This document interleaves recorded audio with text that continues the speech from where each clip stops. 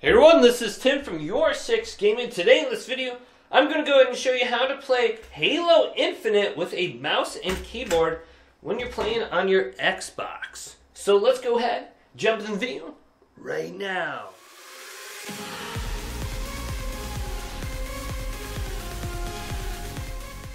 So I have my mouse and my keyboard right here on my desk, and I'm going to be using the Xbox One S now this does have three USB ports on it, but I'm going to be using this Anker USB hub that has four additional slots, and I'm just going to be plugging my mouse and keyboard into the front slot right here.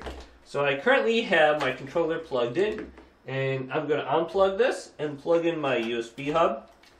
Then I'm going to take my USB mouse and my USB keyboard and just plug them in right here. Now you can see my keyboard is lit up. Now let's go ahead and try to play Halo Infinite with a mouse and keyboard. Now I already have it plugged in and I just press enter. Now it says who are you? Sign in. Let's go to my main account and press enter. So I can see my screen. Let's move around with my mouse and just see if a cursor pops up or if anything pops up. I can move around with the the arrow keys right here, press escape. Let's go to a uh, custom game right here and just see if we can move around now. I don't see a cursor on the screen for some reason, but let's go ahead and just launch a game and see if that pops a cursor up or if we're able still to move around. But I'm able to navigate, press escape, enter, and do all that stuff just on the keyboard itself. See if we can find the Xbox button. So the window key will open up the guide menu. So the window key right here next to control and alt and it's loading the map right now. So it seems like it will work. I just don't have a cursor or I can't find one at least.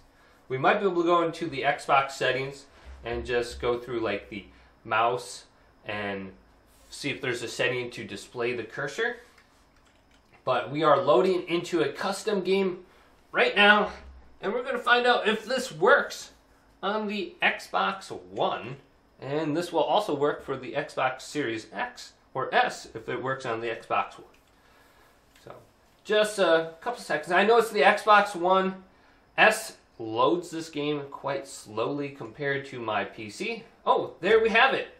I'm moving around. This is kind of funky right now. I'm not able to look all the way down, but I'm able to move around. What? I don't know, this is a little bit strange. Maybe it's my mouse. I can look up and down, but I can't like look all the way down. Let's go to settings and then go over to keyboard and then just go under here. Press enter. See if there's any additional settings under here we have to fix. I mean, we can see all the different um, keyboard buttons. So there we go. It's working a little bit better now. I think my mouse is just a little bit off. I can move around left and right, up and down. Hmm. I'm going to try a different mouse instead of this one. Alright, so I have my main mouse I use for my computer. I'm going to plug this one in and disconnect my older mouse. So the one with all the side buttons I'm going to put to the side. And then I'm going to use this one here so I have two of them plugged in now, my mouse and keyboard. So this one, I mean, it works a little bit better, but I'm not able to like turn stuff with it. As you can see, I can only move left and right, but I can't move all the way down. So I mean, this like kind of works. So let's go to the Xbox settings here and go to my profile and just see if there's any options for Halo Infinite. Or maybe I'll have to restart the game completely. So let's go to devices and connections. All right, so under devices and connections, let's go on down to mouse right here and select this. So here are my options. The pointer speed, slow or fast, switch primary and secondary mouse buttons. Okay, that's not gonna help me. Um, let's go ahead and just close down Halo Infinite and start it up. So let's press the Windows button, open up our guide button, and then let's go to Halo Infinite. Hmm, I don't know how I'm going to get those control options up here. but I'm gonna have to get my controller plugged in real quick and then Alright, so let's go to game options and just close out of this real quick. Now I'm gonna disconnect my controller. Let's go ahead and relaunch Halo Infinite. Alright, so let's go ahead and press enter and relaunch the game. Jump into Halo Infinite. I still don't see a mouse cursor. So that hasn't improved yet. Now let's go down to custom game and just start up the same custom game and see if we're not restricted with the mouse. Alright, so we're back in the game. Let's move around now. Okay, so there we have it.